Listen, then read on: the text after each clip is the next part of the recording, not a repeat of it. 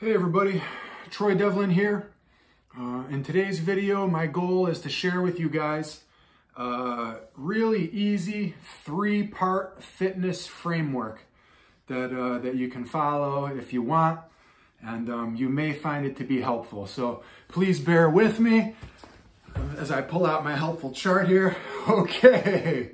Now, very important to note, the three-part framework consists of mindful movement, nutrition, and the often neglected mindset.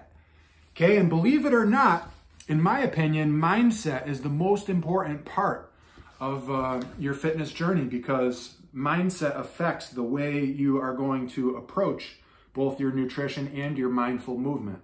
Another way to think about mindset is it's the story that you tell yourself about yourself.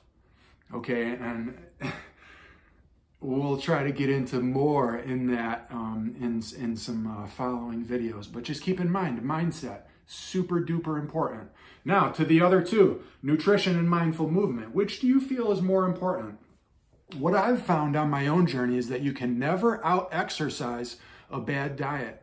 So nutrition, the fuel, the food that you're putting in your body, is more important than actually the type of exercise or the intensity of exercise um, that you do. So you really want to be mindful to choose whole foods. And um, again, nutrition is an area that we could really spend a lot of time on.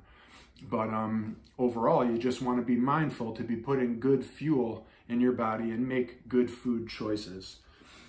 Finally, mindful movement. Notice I say mindful movement and I don't say workout or exercise. I try to be mindful of my word choices because language is powerful. And the movement component doesn't have to be lifting weights, which I choose to do. It may be playing tennis, which I also really enjoy, but it's just hard on my particular body type.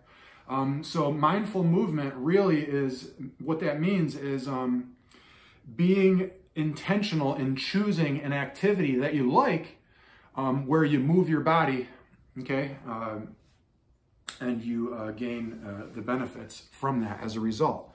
So just to, just to recap, okay, mindset being our foundation and most important in my opinion, mindful movement and nutrition, completing our uh, fitness triangle, if you will.